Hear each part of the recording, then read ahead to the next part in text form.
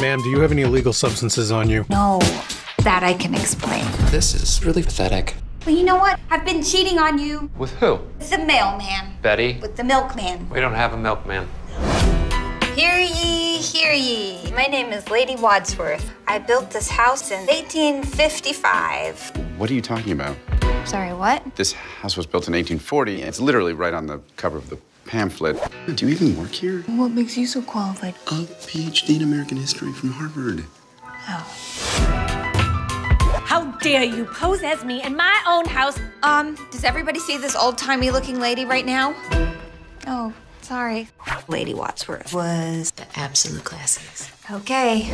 I need your help, not because you're a man, Okay. because you're a nerd. Oh. I got an old-fashioned bitch ghost. You are a disgrace. I won't have people thinking I behave like you. You're such a good drunk driver. Thanks, I know. If you insist on pretending to be me, will you allow me to teach you how to be a lady? Okay, just please stop cock blocking me. Cock. Blocking. Whoa. What are you, a 13 year old boy? These are from the 80s. It's my favorite era of D. A lady should excuse herself. Actually, Did you just come to my room to fart? it wasn't you.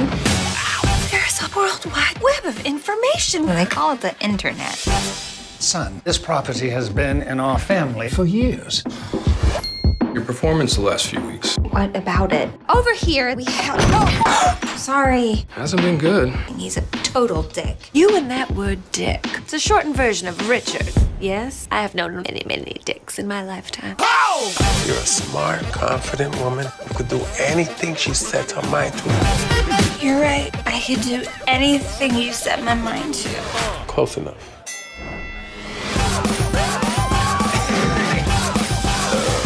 Whenever I would have guests over, I would offer them tea and sex. Snacks. Snacks.